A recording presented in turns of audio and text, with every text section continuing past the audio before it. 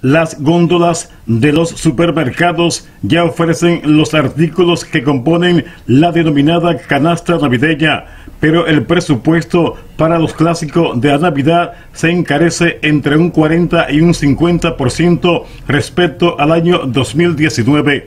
Los comerciantes del municipio de Moca hablan también sobre la entrega temprana de la regalía pascual en la República Dominicana. Eh, sí, nosotros queremos hacer un llamado al Estado Dominicano, al gobierno específicamente, que tome control porque hay muchos artículos que están subiendo de precio. Muchas compañías que han subido sus artículos. Por ejemplo, hoy el jabón tiene 50 pesos más caro la caja.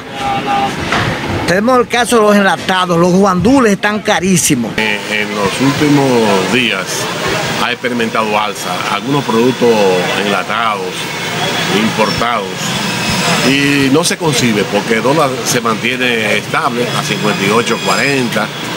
Eh, de manera que no entendemos el por qué esa alza desproporcionada. Bueno, hay consumidores solamente eh, ha subido la papa, la cebolla, eh, eso ha sido lo que ha subido, más o menos los plátanos, porque se han caído, pero después cosas enlatadas y arroz más o menos siguen los precios estables.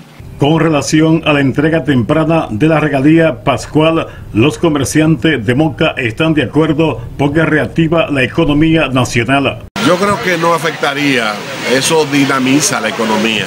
El gobierno va a entregar la, regalía pascual muy temprano, el día 1 de diciembre. ¿Podría afectar a la movilidad económica? No, no, lo contrario, podría favorecer por el circulante en las calles. Mientras se prevén más aumentos, las cadenas de supermercado remarcaron precio hasta un 15%.